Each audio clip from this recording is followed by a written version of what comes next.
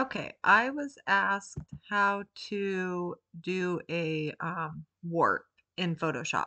So this is how I do it. I know there's lots of different ways to do it, but I open my warp template. So here's my warp template, and I just go File, Place Embedded, and I'm gonna or uh, just pick a straight design. So let's do this one, and it'll open like this.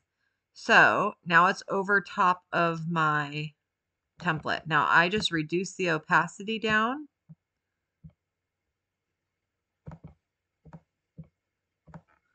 It's a little too light here. There we go. To where I can see, so you can see how far out it is. Now, I don't just clip it because if you do, if it's a seamless design, now it won't line up.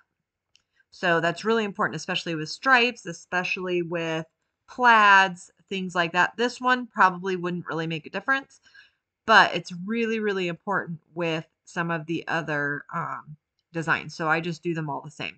So once I have my design, my opacity turned how I want, I hit Control Transform, Control T, and then I right click, Warp. Now, how I do it is I do the four corners first. So I move these four corners to where they're at the corners. Then I do the sides.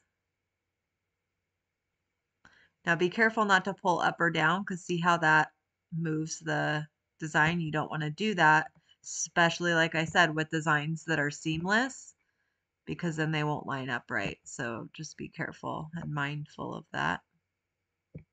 All right, now I do the bottom.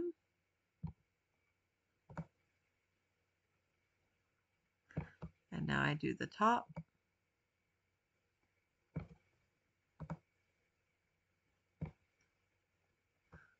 All right, that looks good to me. All right, and then just to make sure, I come over here and I hit the control button. I hold the control button while I click on this layer panel right here. And it will outline it, and that looks good. If you wanted to clip it just to make sure that it's the same every single time. I hit control. So once it's outlined, then I come up to the layer I want to clip right here and I hit control J and I just hide the other layers. Make sure you turn your opacity back up before you save it or print it.